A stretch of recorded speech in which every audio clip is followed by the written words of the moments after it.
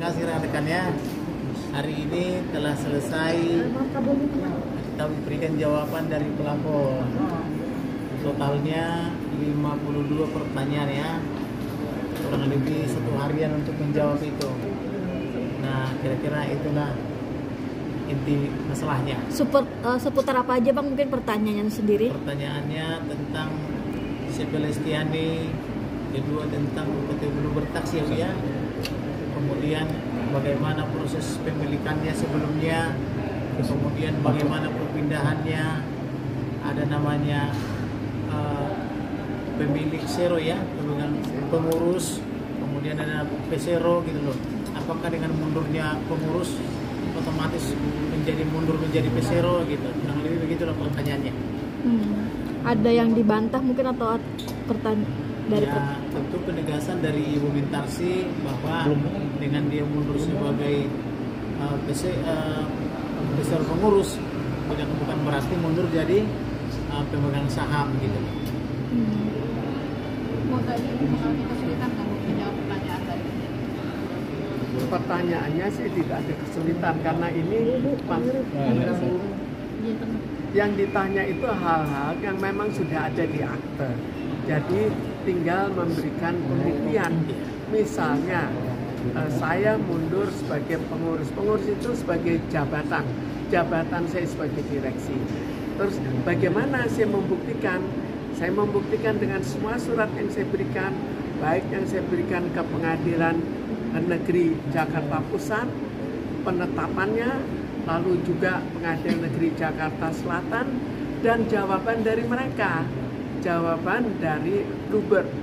Jadi itu sudah uh, bukti bahwa semuanya bahkan sudah dapat prosedur pengadilan. Lalu selanjutnya masalah akte-akte. Jadi ini dibuat dalam bentuk akte.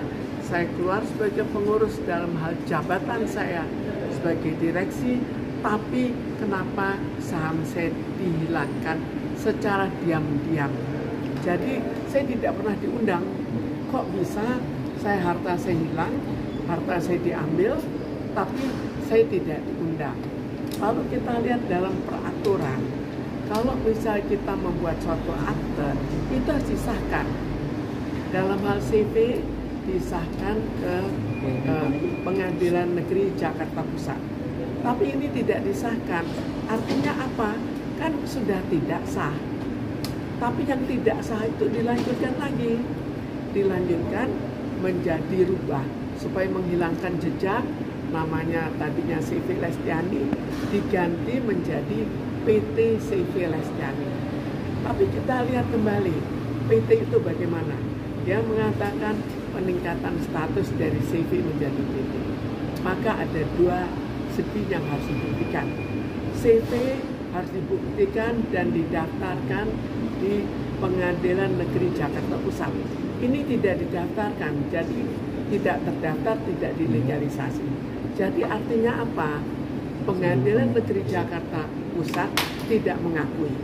Kemudian dia menjadi PT. PT itu harus disahkan lagi, harus didaftarkan di Kemkumham. Ternyata kembali lagi tidak disahkan.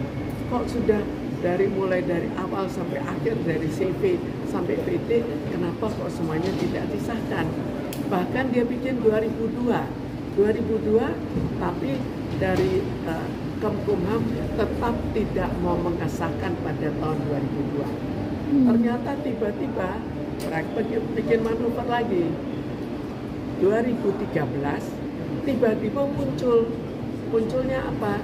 Semua hilang itu secara sah disahkan. Kalau sebelumnya tidak sah, tapi setelah itu betul-betul disahkan. Sekarang kita lihat bagaimana cara pengesahannya.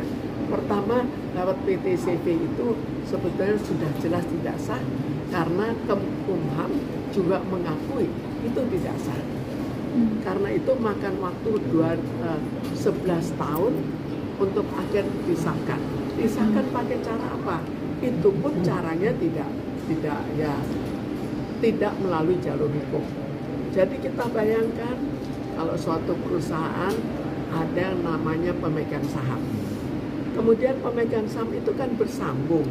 Kalau misalnya pemegang sahamnya A, akte berikutnya A, kecuali kalau ada jual beli. Kalau tidak ada jual beli, maka ini tetap A.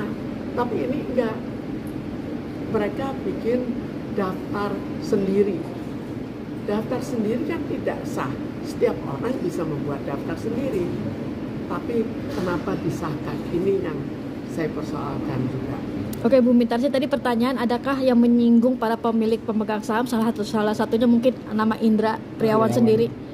Sebetulnya ini tidak menyinggung nama perorangan, menyinggung semua yang berkepentingan dengan Bluebird.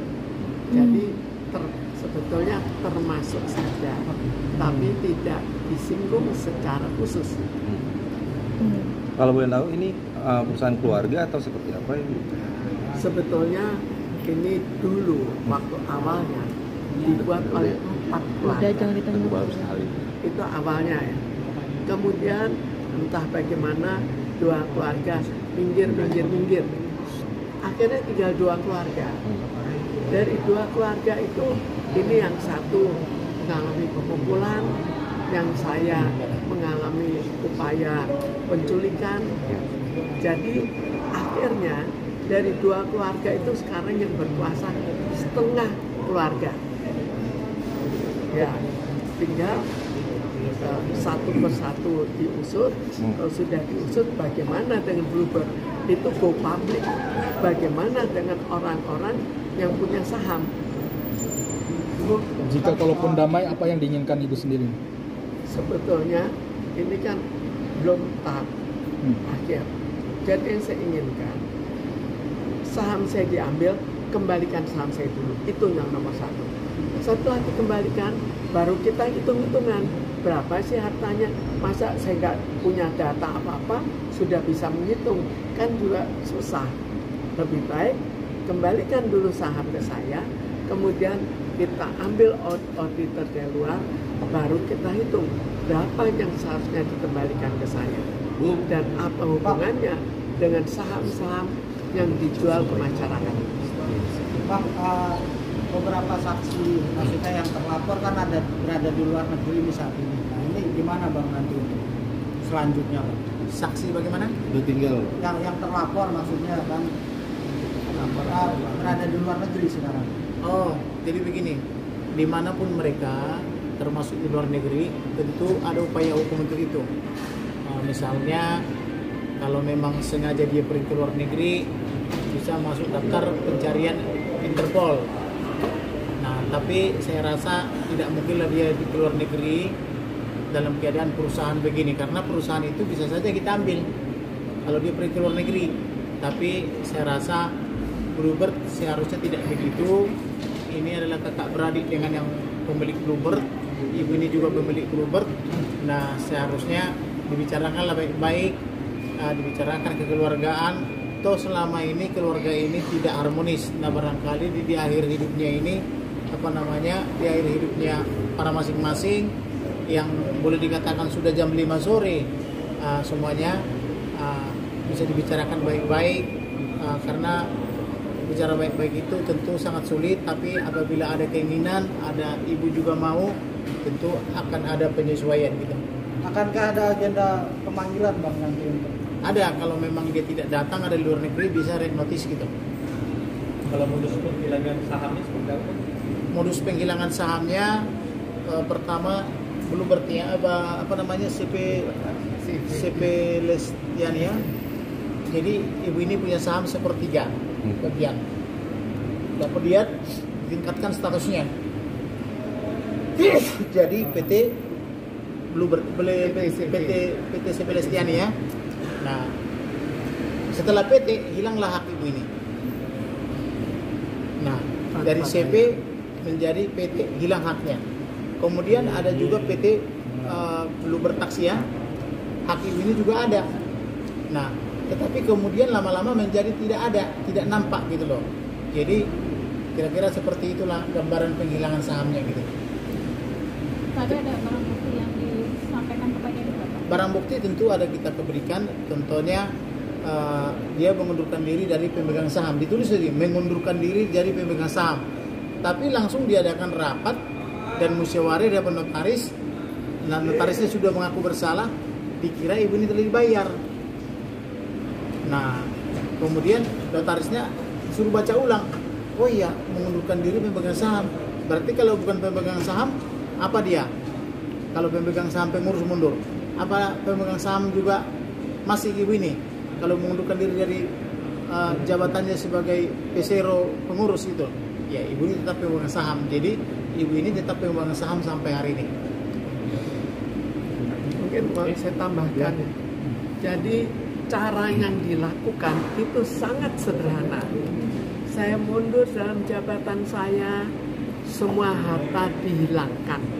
Bisa dibayangkan kalau itu semudah itu terjadi. Apa jadinya dengan investor-investor? Apakah investor berani invest di Indonesia? Dan apa akibatnya nanti bagi ekonomi negara? Iya, karena itu juga di, dipertanyakan oleh investor kalau masuk ke Indonesia bagaimana keselamatan dana mereka. Nah kalau pengusaha lokal saja tidak jelas, apalagi pengusaha asing kan gitu, memang tentu kan mereka kan eh, menghitung sampai sedemikian rupa gitu kan.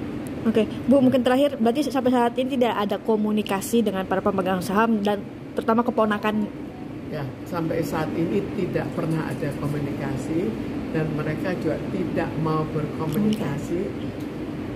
Tidak tahu kenapa, apakah karena mereka sudah anggap di atas angin, semua harta sudah di tangan mereka kan. Sip. Kalau saya sih tetap menginginkan bagaimana supaya ibu ini diajak berkomunikasi supaya ada solusinya.